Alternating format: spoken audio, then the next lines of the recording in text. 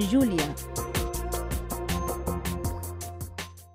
Una enorme R s'amaga entre els arbres al mig de la Via Júlia. És un altre dels monuments que es van instal·lar a nou barris per dignificar l'espai urbà. En aquest cas, es va estrenar l'any 1986 en acabar la remodelació de la Via Júlia. L'escultura és obra de l'escultor Sergi Aguilar, qui va dissenyar-la com a homenatge als emigrants que van arribar als anys 60 a la zona, aleshores coneguda com les Roquetes. Milers de persones que van arribar a meitat del segle XX a nou barris per treballar a Barcelona i van fer créixer la majoria de barris del districte. Uns barris d'autoconstrucció o de promocions d'habitatge fetes a correcuita, enmig de zones sense serveis bàsics. L'escriptor Francisco Candel va batejar aquests veïns com els nous catalans.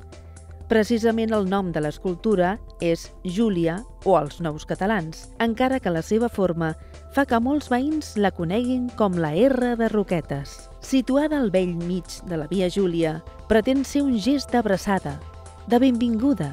L'escultor Sergi Aguilar va acompanyar l'escultura d'un poema de Salvador Espriu sobre la diversitat, uns versos que es poden llegir a terra, a pocs metres. Els nous catalans, fes que siguin segurs els ponts de diàleg i mira de comprendre i estimar les veus i les parles diverses dels teus fills.